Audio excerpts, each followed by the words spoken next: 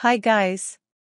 Urban Meyer's praise for Jalen Milroe highlights his exceptional performance, putting him on par with legends like Reggie Bush and Percy Harvin.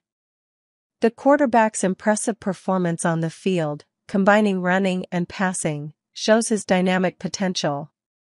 If Milroe continues to shine, he could become a towering figure in college football and even follow in the footsteps of icons like Bush and Harvin in transitioning to the NFL. Milroe, it's on the rise, that's good for Bama. What is your opinion? Comment.